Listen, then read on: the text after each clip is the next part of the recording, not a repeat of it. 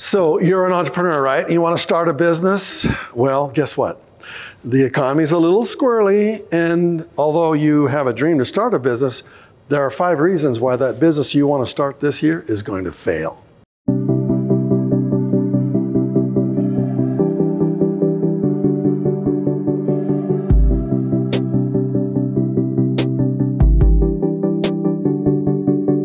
Well, I wrote the book called Multiple Streams of Income. And yes, real estate is a great way to make money, but businesses also. We just want to make sure that we watch out for the five signs that our business might be failing so that we can make our business succeed.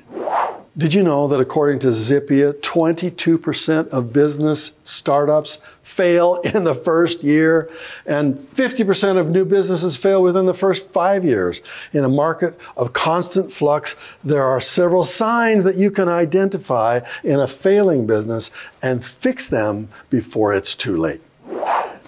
Hey, Mistake number one, you assume superiority. Are there some names you might recognize like Kodak, AOL, BlackBerry? What happened to them? They got to the top and they didn't stay there, did they? They fell off the mountain. Why? Because they weren't really working as hard to stay at the top as they worked to get to the top. So you're going to work on your business to get to the top and to stay there. So I wrote the book called Multiple Streams of Income, and that's a good thing and a bad thing because if you have a business that you're starting, you don't want multiple streams of income. You want a few really great streams of income so your business can become solid and stable. Remember what happened to Apple? They kicked Steve Jobs out and then they started adding all these crazy new products. And then one year before they brought him back, they lost a billion dollars because they had too many products. They were focused on too many things. You have to focus your energy on just a few things. And that's exactly what Steve Jobs did when he came back. He canceled all those brand new products and said, let's focus on a few insanely great products. In the very next year, they made $309 million because they were focused. So at the beginning of your business, gotta focus. One of the problems of beginning entrepreneurs is they're just too positive. They think they can make their business work. They'll just figure it out, right? And they start to ignore the new data, the things on the horizon that let them know there might be some problems coming up. For example, there might be negative customer reviews. Why? There might be cost per acquisition is too high. Why? Well, if they're too positive, then they ignore these things, and these things start to mushroom and become big problems that could, could kill the business. So you got to make sure that you don't ignore this new data.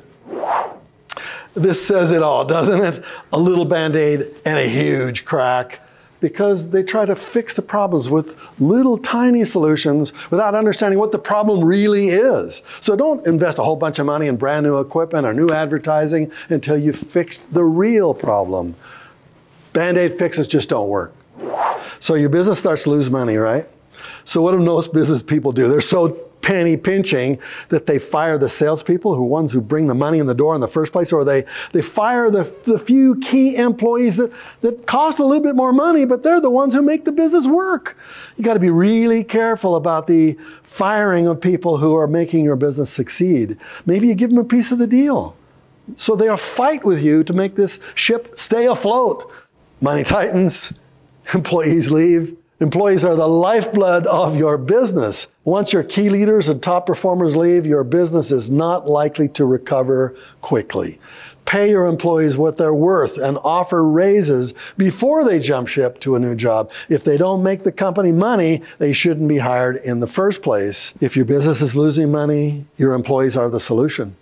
They know exactly what's working in your business. So bring them in, give them an incentive, maybe give them a piece of the deal. Help them survive with the business so they can succeed with the business.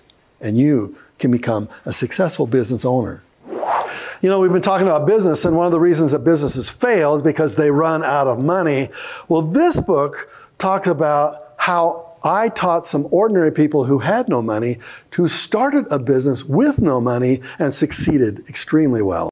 It teaches the mindset of what you need in order to make your business survive and thrive. So get a free copy of this book. Download it, read it. It'll teach you exactly what you need to do to be a successful business person. Hey, thanks for watching and make sure you subscribe and click on the link down below and watch the next video. Good stuff in that one.